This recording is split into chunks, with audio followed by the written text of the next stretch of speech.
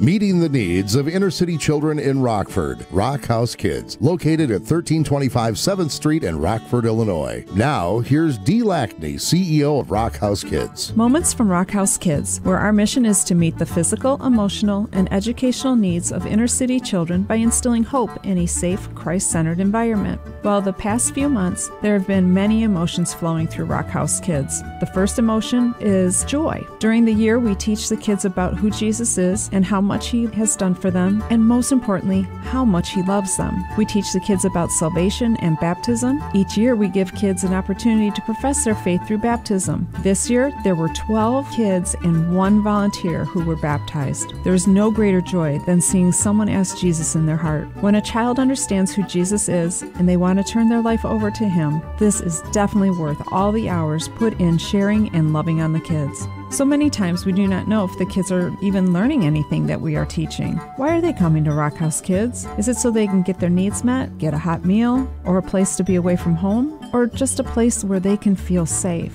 The next emotion which has been felt is frustration, even anger at some points. When we hear about the senseless shootings and killings in Rockford, the question is why is this happening? When will it end? Who will be next? There are days I want to pull the covers over my head and not come out. How many more times will I scan the area where the shots were fired to see if this is the neighborhood where one of our kids live? Many times the shots are fired around the neighborhoods of our kids. Thankfully, none of them have been on the receiving end of the bullet. Even though they are not physically hurt, there is still collateral damage. Sometimes it's a family member. One of our teens was in Chicago when his cousin was shot. He ran out to him and held him as he died in his arms. This changes a person forever. This teen told me he is holding his head up and knows God is with him. He knows God is the one who keeps him going. You know where he learned all that? Rock House Kids. He learned this fact by the years he sat in class with a mentor, the years he sat in chapel, hearing the lessons over and over again that God is sovereign. He understands people are making horrible decisions, but it's not God's fault.